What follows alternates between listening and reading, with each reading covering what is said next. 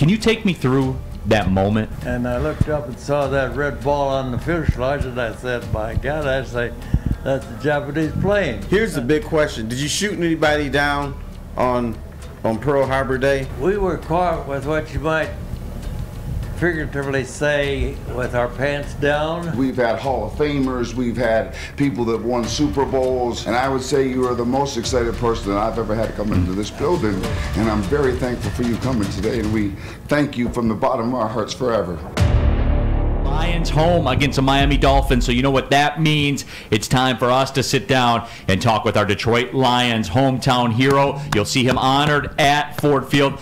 It's a good one, folks. I'm excited for this one as Big D Energy would like to welcome Captain Herb Elfring to the show. Born in 1922 in Watertown, South Dakota, he entered the Army National Guard and was deployed to Hawaii in November of 1940. Just a year later, while stationed in Hawaii, he was manning a coastal artillery gun on that fateful day, December 7th, 1941, when the Japanese attacked Pearl Harbor. After the events of that, the United States officially entered World War II.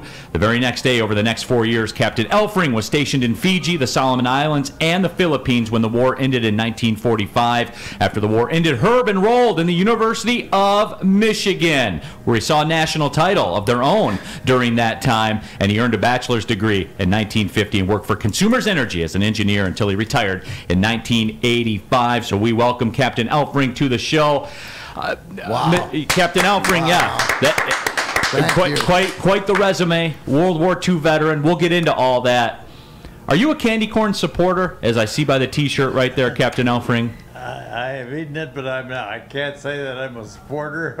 All right, we are back in my good graces, Captain Elfring. No, um, He's probably no, still got candy corn from back in, you know, when he went in the army in 1940. Well, that was the last still time they made it because That's no the one last buys time it. they Abso- made it, right? Absolutely, Captain Elfring. uh, Again, appreciate you coming on the show. I, I, I think that I speak for everybody when I have to when I say we have to start on uh, on that day, uh, Pearl Harbor. You were there. You survived the attacks.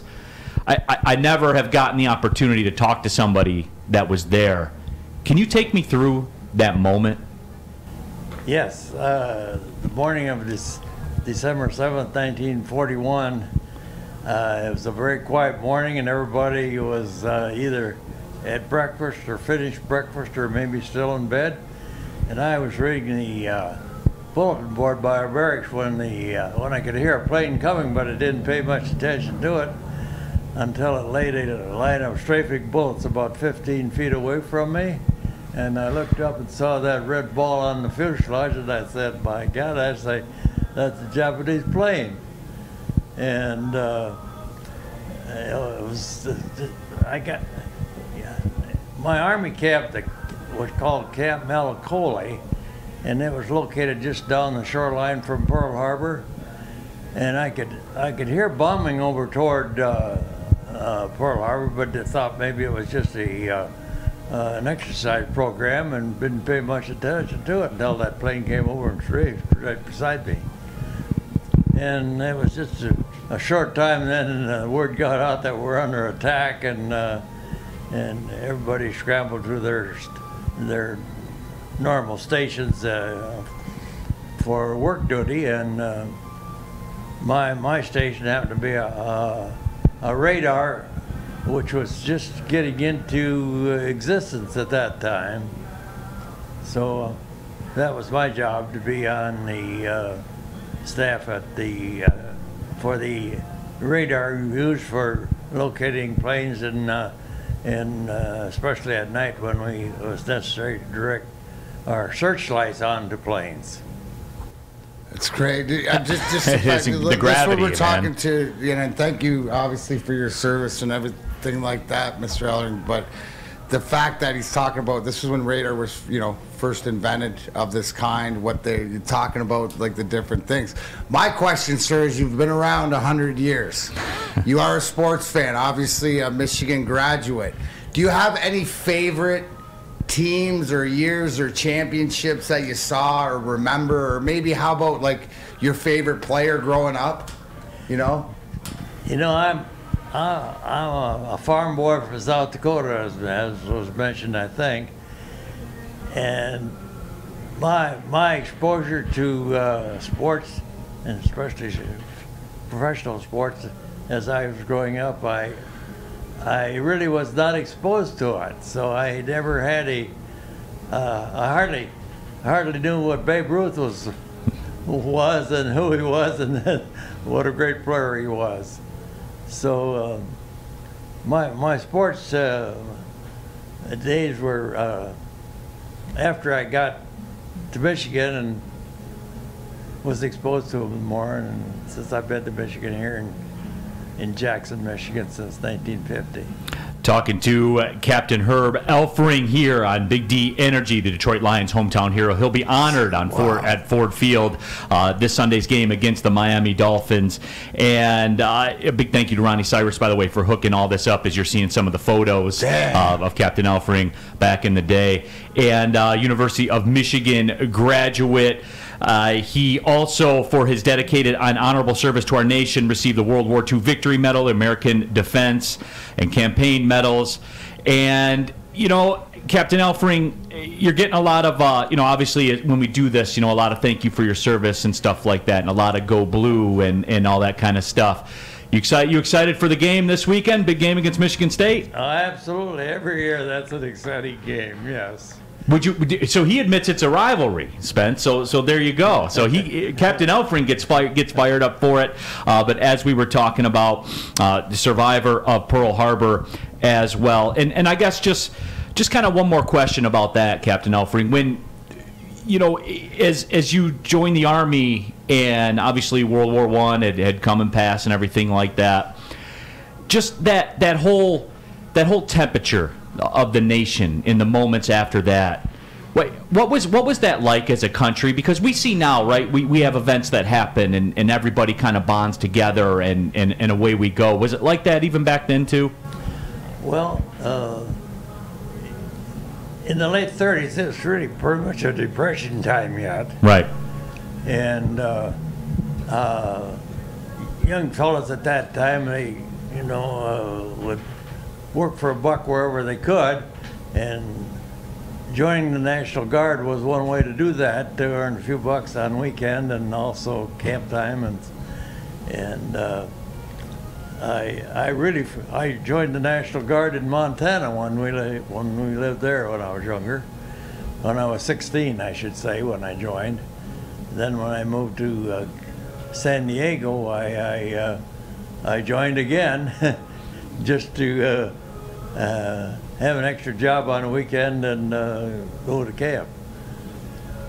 Uh, Captain Elfring here in the WoodwardSports.com chat thread. Scott Klingler says, uh, "Hey Neal, can you tell that hero I can't repay him for what he's done for his country? And thank you so much, sir. And uh, I think we echo those sentiments here. I have a question that I'd be remiss if I didn't ask because I don't get around, and I don't think a lot of us get around somebody who's 100 years old Right. too much. So, as much as he's seen or experienced, what advice for the rest of us youth out here? What, how do you how do you make it to 100, or what advice would you say? Has got you this far. Can you give us? Can you give the youth and the nation some advice, sir? Well, What's the key? I'm sure I, everyone experiences through life uh, a lot of close calls, and of course I've had a lot of them, and it makes you feel like boy somebody up there is watching over me, a lot of times. But uh, to get there, I guess I would have to say that uh, uh, try not to have all the answers for everything, because you know you, you can't anyway. Getting getting through the war and get the, getting the opportunity to go to the University of Michigan on the GI Bill was uh, a great lift in my uh, lifetime, I'll tell you. Anyway, that's where I met my wife, and uh, uh, when I graduated in 1950, we moved to Jackson and got a job with the uh, local power company, Consumers Power Company. And in the process, uh, uh, I worked for 35 years, but in, in that time we had five children, and they've all uh, grown up, of course, and are doing very well. So uh, to get to where I am, I guess I uh, feel that uh, you, you, just do your job as you go along the best you can, and uh, and I, I think I was quite active in several things, but I never excelled in anything you might say. But I I played I played golf and and uh, tennis and uh, and uh, I skied in the wintertime and uh, rode my bicycle and uh, and did did everything like that in moderation and uh, stayed active but not overdoing anything. I like I like it. You know, I want to say one thing, and I don't ever come on the air with you guys. and it's emotional for me, to be honest with you, because we've had Stanley Cup champions, we've had Hall of Famers, we've had people that won Super Bowls, um, college championships. And I would say you are the most excited person that I've ever had to come into this building. And I'm very thankful for you coming today. And we thank you from the bottom of our hearts forever. And we, God bless you, my brother. We're so thankful for you. Yeah. Captain Elfring, certainly do appreciate your time, your service to the country, and thanks for coming on Big D Energy today. I'm happy to ha- I, I'm happy to do my part. Nah, absolutely. Big thanks to Ronnie Cyrus as well. Captain Elfring will be honored. You'll see him on the field this Sunday at Ford Field. I can't believe they let you knuckleheads have a show. Here's the big question: Did you shoot anybody down on on Pearl Harbor Day? Did I? Did you get to shoot Shoot a plane shoot down. a plane or- down anything? Uh, we were caught with what you might figuratively say with our pants down. we had absolutely no resistance to respond to the attack. Absolutely none. Ready to go, you know what I mean? All of our guns were in march order position and the, uh, the uh, small arms that were, uh, would have been, could have been used were locked up and and uh, the attack on my my company, my camp, Camp Malakole, uh, really only lasted a, a few minutes, you might say. Uh, uh, I mentioned uh, uh, being being attached to a, a radar, and uh, I, when we got the squad out to the radar, we were we were strafed again by one zero airplane, and that one, the landing bullets just went within 15 feet of me again, and in the process cut the cut the power cable between the power plane and the radar itself. So. Uh, uh, the type of plane that, that hit our camp was not a bomber like was usually doing to drop bombs on the shipping in Pearl Harbor.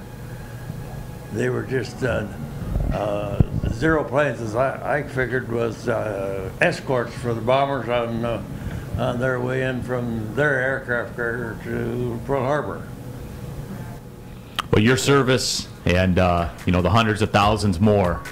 Uh, certainly, uh, you say you got caught with your pants down. Well, I, I, thi- I, think, I think we fixed the scoreboard on that one, though, but when, when, it, when it was all said and done. So, Captain Elfring, I appreciate your time again. Thank you for your service, and uh, everybody. Get, bring the noise on Sunday when Captain Elfring's out there on the field. We'll be back with more Big D Energy.